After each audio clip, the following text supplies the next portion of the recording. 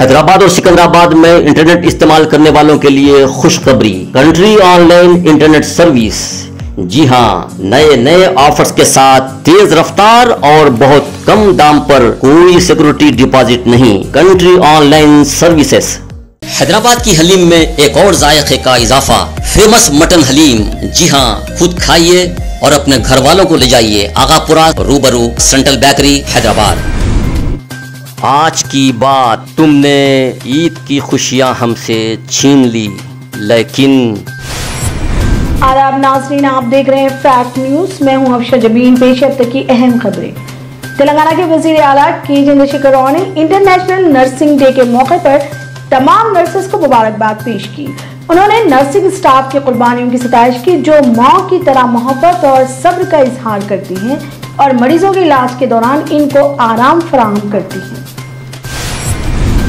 तेलंगाना भर में आज से लॉकडाउन पर अमलवारी शुरू हो गई। सुबह छह बजे से हैदराबाद समेत रियासत के अजलास में बाज़ार खुल गए थे, जहाँ चार मीनार पर भी लोगों का हजूम देखा गया। लोग ज़रूरी एशिया की खरीदारी में मसरूफ देखे गए। दस बजे के बाद कारोबारी इदारे बंद कर दिए गए। छूट के दौरान आरटीसी बसेस और मेट्रो खदमात दस्तियाब थी। दस बजे के बाद सड़कें सुनसान नज़र आ रही थी। दस बजे के बाद पुलिस की जानब से लॉकडाउन पर सख्ती से अमल किया जा रहा है। मेन रोड्स पर विकेट्स लगाते हुए गाड़ी सवारों की तनकीद की जा रही है। गैर ज़रूरी सड़कों पर आने वाले अफराद को रोका जा रहा है। रियासत की सरहदों के पास चेक पोस्ट कायम किए गए हैं। वाजिब है कि कोरोना के केसेस में इजाफे को देखते हुए हुकूमत की जानब से इस महीने की इक्कीस तारीख तक लॉकडाउन का ऐलान कर दिया गया है। हर दिन सुबह छह ता दस बजे दिन ही बाज़ार खुले रहेंगे। तेलंगाना में कोरोना की लहर जारी है। 24 घंटों में 4,801 नए केसेस ग्रेटर हैदराबाद के हदूद में केसों में कमी देखी गई। सात नए केसेस दर्ज हुए हैं। अजला में कोरोना वायरस की लहर जारी है। अब तक कोरोना से मुतासर अफराद की तादाद पाँच लाख छह हज़ार नौ सौ अठासी हो चुकी है। मजमू अमवात की तादाद दो हज़ार आठ सौ तीन हो चुकी है। सात हज़ार चार सौ तीस अफराद सेहतियाब हो चुके हैं। मजिद छह हज़ार एक सौ छत्तीस अफराद जेर इलाज हैं ग्रेटर हैदराबाद के हदूद में लॉकडाउन पर सख्ती से नाफिज करने के लिए दो सौ छिहत्तर चेक पोस्ट कायम किए गए हैं जिनमें हैदराबाद पुलिस कमिश्नरेट में 180, सैबराबाद में 50 और रचकुंडा कमिश्नरेट में 46 चेक पोस्ट हैं। पुलिस हैदराबाद अंजनी कुमार ने कहा कि तेलंगाना के दारुल हुकूमत हैदराबाद में आज सुबह 10 बजे से लॉकडाउन पर मुकम्मल और मौसर तौर पर अमल किया जा रहा है।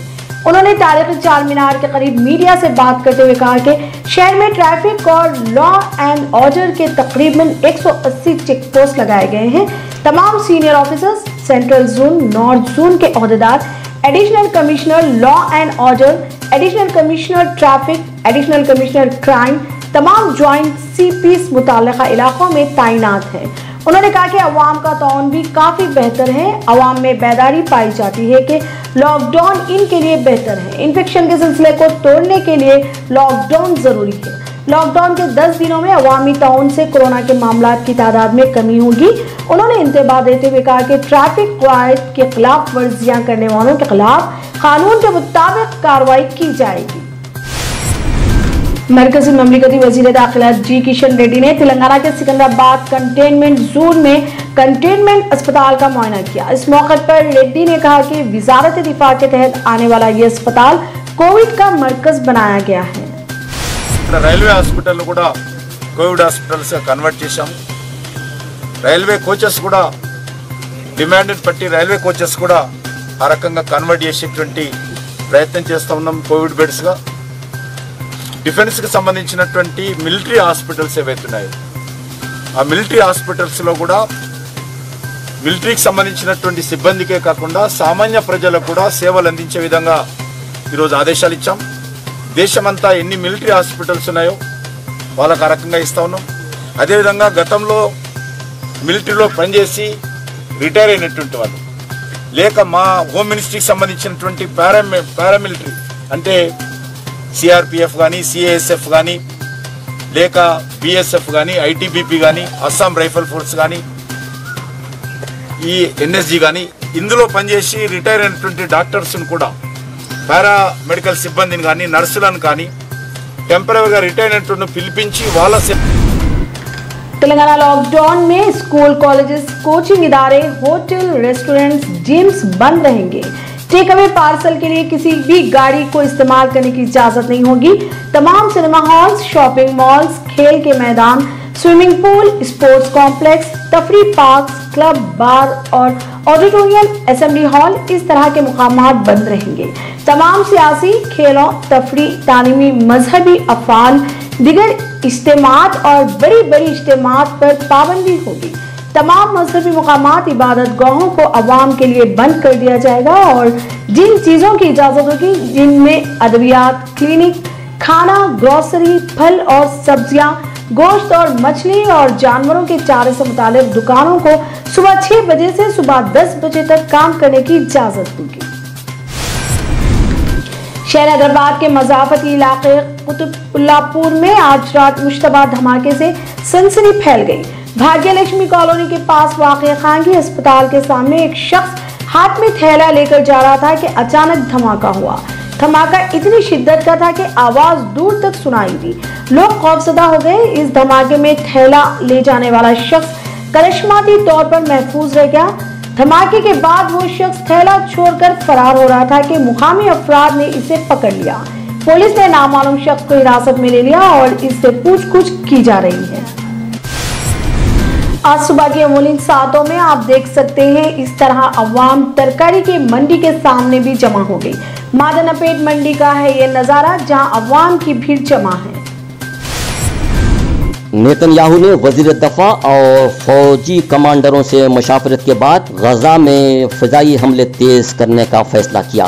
मंगल की शाम खतर ने यरूशलेम में इसराइली हमलों को लेकर इजलास तलब किया। लीग के assistant secretary general Hossam Zaki इस इजलास में यरूशलेम को यहूदी बस्ती बनाने के खतरनाक मसले को उठाया। इसराइली हुक्काम ने मकबूजा महल शेख जर्राह में पहले ही दर्जनों फलस्तीनियों को इनके अपने घरों से बेदखल करते देखा गया। अब महल शेख शेख जर्राह में सिर्फ़ कुछ मकान बाकी रह गए हैं। पिछले कुछ दिनों से इन खानदानों को अपने घरों से बेदखल करते और इन्हें मार भगाते देखा जा रहा है और इनके घर पर हवाई हमले भी हो रहे हैं।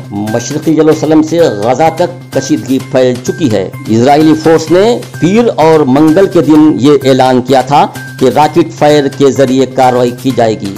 मंगल की शाम तक गाजा पट्टी पर इसराइली हमले होते देखे गए। मंगल के रोज इसराइली लड़ाकू तैयारे ने नहीं तो फलस्तीनियों के घरों पर और ज़रिए ज़मीन पर गोलाबारी की और इनको निस्त नाबूद किया। इन हमलों में हलाकतों की तादाद अट्ठाईस बताई जाती है और तीन खातून और दस बच्चे मरने वालों में शामिल हैं। इसराइली फौज महल शेख जर्रा में कार्रवाई करते हुए हमले किए और इनको बंद गाड़ियों में नामालूम मुकाम पर ले गए। बार बार शेख जर्रा महल का नाम इसलिए आ रहा है कि जगह इसराइल की कामयाबी के लिए एक अहम महला तस्वूर किया जाता है। और यहाँ मौजूद फलस्तीनी का गढ़ मज़बूत और इनको भगाना इसराइल के लिए मुश्किल है। मशरकी यरूशलेम समेत मगरबी किनारे को बैन अवी कानून के तहत भी मकबूजा इलाका कहलाता है, जो उन्नीस सौ सड़सठ में अरब इसराइल जंग के बाद इसराइल ने नाजायज कब्जा कर लिया और वहाँ मुसलसिल मजीद इलाकों की तामीर की और और अब पचानवे फ़ीसद हिस्सा इसराइल के कब्जे में आ चुका है, जिसको आलमी बरदरी ने कभी तस्लीम नहीं किया। इतलात के मुताबिक उधर अर्दुन के शहरी दारुल हुकूमत ओमान में इसराइली सफारत खाने पर मजाहरा करते देखे गए। लेकिन अफसोस के हालिया अरसे में तकरीबन अरब मुल्कों ने इसराइल को तस्लीम करते हुए सफारती ताल्लुक को भी कायम किए, लेकिन आज तक किसी ने भी एहतजाज नहीं किया। आज सुबह वलीन सातों में इसराइल ने गजा में एक बड़े रहायशी अपार्टमेंट में ताकतवर राकेट हमला किया, जिसमें सारी इमारत, ज़मीन बोस्त हुई इसमें 80 फलस्तीनी मौजूद थे। ताज़ा इतलात के मुताबिक, एक आठ साल मासूम लड़की रियाफुल मिस्री को इसराइली फोर्स ने गोली के ज़रिए कत्ल कर दिया। दूसरी जानी ताज़ा इतलात के मुताबिक, एक हामिला औरत को गोली मार कर हलाक कर दिया गया, जिसके पास पाँच साल लड़का भी मौजूद था। ऐसे वाकयात में आलम इस्लाम का खामोश तमाशाई बना रहना अफसोसनाक है। हती कि हमारे मुल्क के वज़ीर आज़म खामोश, तमाशाई बैठे हुए देखे जा सकते हैं। इनका मतलब ये हुआ कि अपने दोस्त नितन का बड़ा साथ दे रहे हैं। हज़ारों फलस्तीनियों ने मस्जिद अक्सा की तरफ़ मार्च करना शुरू कर दिया, जिसको तमाम जमातों ने मुतहदा तौर पर तस्लीम करते हुए साथ देता देखा जा सकता है। तेलंगाना हाई कोर्ट ने रच्चाकुंडा पुलिस को हिदायत जारी करते हुए कहा कि कोविड 19 के मुताबिक तमाम कायदे और जब्ते की पाबंदी करें। रमज़ान ईद के दिन खास ख्याल रखें, वीडियोस और फ़ोटो लेकर कोर्ट को रवाना करें। हाई कोर्ट ने यह भी कहा कि पिछले फ़ोटोज़ और वीडियोस को देखने से पता चला कि पुराने शहर में बहुत बेतरतीबी देखी गई और कोविड 19 के वसूलों की धज्जियाँ उड़ाई गई और पुराने शहर में कोरोना का फैलाव का बास बना। कोर्ट ने यह भी कहा कि इन तमाम चीज़ों को देखते हुए ये कदम हमें उठाना पड़ा।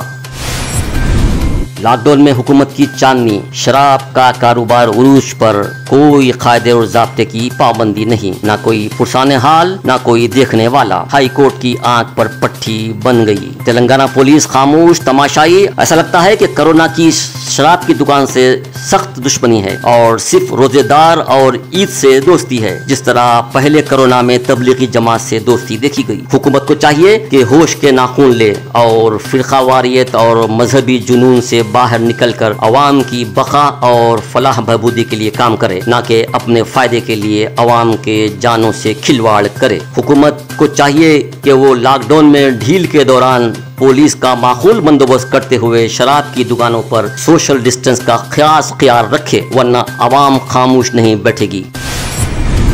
आज सुबह 10 बजे वेस्ट जोन पुलिस के आला अहदेदारों ने टोली चौकी और शेखपेट का दौरा किया।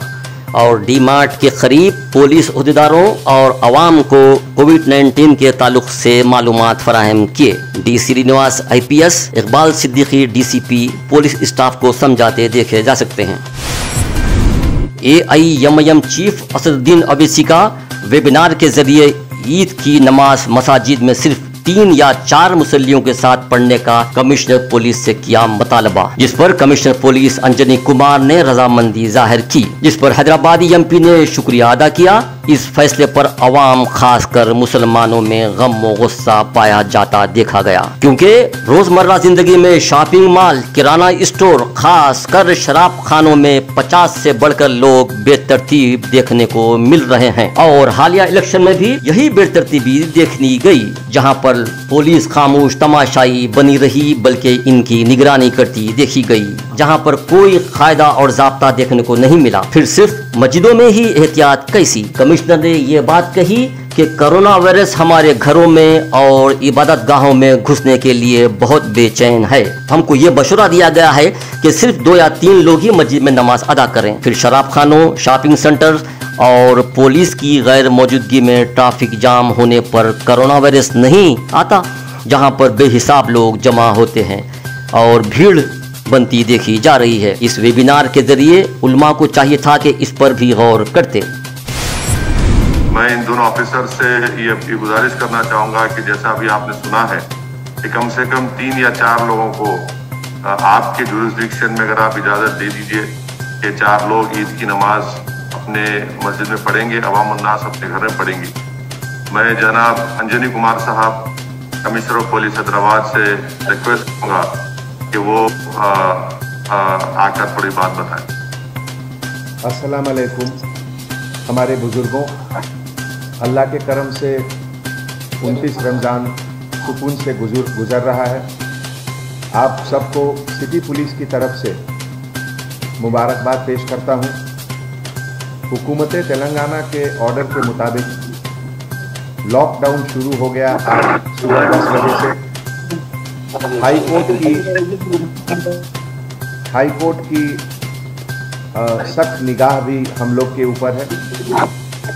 कल हमारी हाजिरी भी हाईकोर्ट में हुई। हमारी गुजारिश है कि आप घर में ही नमाज़ अदा करें। आपके परिवार के लिए बेहद ज़रूरी है ये। मस्जिद को वीरान करना ठीक नहीं है। इसलिए हम लोगों ने मशवरा दिया है कि चार सेलेक्टेड लोगों के साथ नमाज़ अदा करने मस्जिद में। ये जालिम कोरोना वायरस आपके घर में घुसने के लिए बेचैन है। याद रहे कि खुद चलकर ये आपके घर के अंदर नहीं आ सकता है। लेकिन अगर आप रमज़ान खरीदारी के लिए बाहर जा रहे हैं, कुछ सामान खरीद कर ला रहे हैं वापस तो उसके साथ ये आपके घर में दाखिल हो जाएगा और फिर आपके बुज़ुर्गों को, आपके बच्चों को परेशान करेगा। इसको रोकिए। अपने घर में ही अंदर रहें। ईद की नमाज़ घर में ही अदा करें। यही हमारी इल्तजा है। और बहुत बहुत शुक्रिया कि आपने मुझे इस वेबिनार में शरीक होने का मौका दिया। थैंक यू मैं शुक्रिया अदा करना चाहूँगा पुलिस साहब। और आपसे आपका शुक्रिया अदा भी करूँगा कि एक तीन चार लोग शरीयत के त्यौहार से भी मुफ्ती खली अहमद साहब, मौलाना खालिद सैफुल्ला रहमानी साहब और मुफ्ती गयास साहब, ये तमाम जिम्मेदारन का ये है कि मुकामी मस्जिद में तीन चार लोग नमाज़ पढ़ते रहेंगे। तो इसलिए आपका भी शुक्रिया, सर, आपको इन्फॉर्म कर रहे हैं। आप आए, बहुत बहुत शुक्रिया। हमने अभी वेबिनार किया जिसमें मुफ्ती इकराम, जिसमें मौलाना मुफ्ती खली अहमद साहब, मौलाना खालिद सैफुल्ला रहमानी साहब, मुफ्ती गैर रशादी साहब और दीगर इकराम तेलंगाना के ज़िला के वेबिनार में शामिल हुए। हम तमाम ने मुतफ़ा ये फैसला लिया है कि हुकूमत की तरफ़ से जो लॉकडाउन का जियो जारी किया गया है, जिसमें कहा गया है कि तमाम मस्जिद की और दीगर मजहबी इबादत गाहें बंद रहेंगी। और मेरी आपसे गुजारिश है कि ईद की नमाज़ आप अपने घर में अदा करिए। मस्जिद में सिर्फ़ दो या तीन लोग मस्जिद में नमाज़ अदा करेंगे, क्योंकि हम मस्जिद को वीरान नहीं कर सकते। इस वेबिनार में होम मिनिस्टर साहब को भी हमने कह दिया है। उन्होंने भी कहा है डीजीपी साहब से मैंने बात की है तो मेरी आप तमाम हजरात से अपील है कि ईद की नमाज़ हमको अपने घर में पढ़ना है। हमारे मुकामी मस्जिद में तीन से चार अफराद जो मस्जिद के खिदमत गुजार अदा करेंगे। कोविड का पूरा लिहाज रखिए, मास्क पहनिए लॉकडाउन के गाइडलाइंस को फॉलो करिए। यकीनन इस लॉकडाउन से गरीबों पर बहुत बड़ा तकलीफ़ बनेगी। मैं शुरू से लॉकडाउन के खिलाफ रहा हूँ, मगर हाई कोर्ट का फैसला है ऑर्डर है और हुकूमत ने जियो भी जारी किया है। तो मेरी आप तमाम से गुजारिश है कि ईद की नमाज़ घर में पढ़िए और जो मुफ्ती इकराम ने कहा है कि या तो इशराक या चाश की नमाज़ पढ़िए। या फिर अगर कोई घर में काबिल है तो वो इसका खुतबा भी दे सकते बहरहाल, घर में ईद की नमाज़ पढ़ना है। कसरत से दुआ करिए और डरने और घबराने की ज़रूरत नहीं है। हम अल्लाह से दुआ करते हैं कि अल्लाह सुबहाना ताला इस वबा से पूरे मुल्क को छुटकारा दिला दे। तेलंगाना रियासत में अल्लाह इसको खुशहाल बना दे। तमाम इंसानियत को अल्लाह इस वबा से छुटकारा दिला दे।